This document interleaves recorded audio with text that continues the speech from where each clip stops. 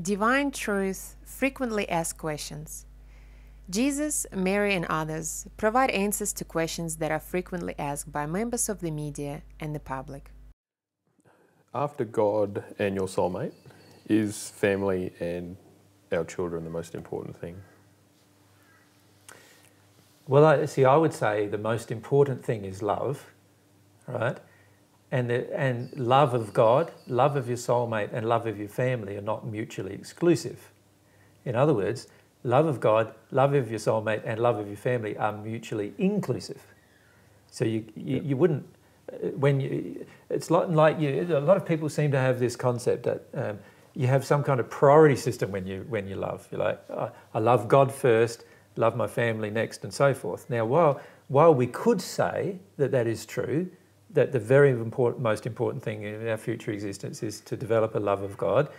And it is very important that you develop a love of your soulmate in your future existence. Those two loves are not mutually exclusive of loving your family. Yep.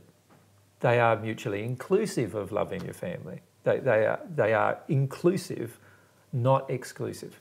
Now, I feel that uh, this kind of question tends to indicate a misunderstanding about relationships that people have they think that because I've said God is the most important relationship you'll ever have, that that means that when you develop a relationship with God, you will love your family less. And it's not true. Mm. You will love your family more because you have a relationship with your God, not less. Right? And they feel with it's the same kind of relationship with soulmate. Once you meet your soulmate, that you'd have a relationship with soulmate, and that would mean that you'd love your family less. No, it means that you love your family more.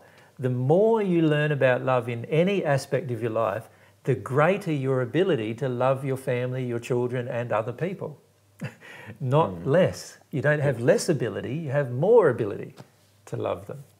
Does that make sense?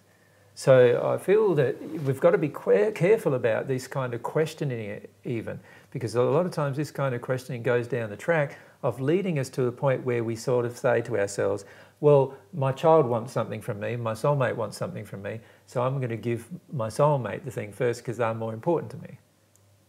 And the child's needs might be that it needs some food. And you say, no, no, you're not getting any food today because my soulmate wants something. Yep. So that, what's a ludicrous proposition, right? If we truly love God and we truly had received divine love into our soul, we would automatically love all of them. And we would notice the need of one and we would automatically supply this need without uh, denying the needs of the other. Yeah, yep. automatically.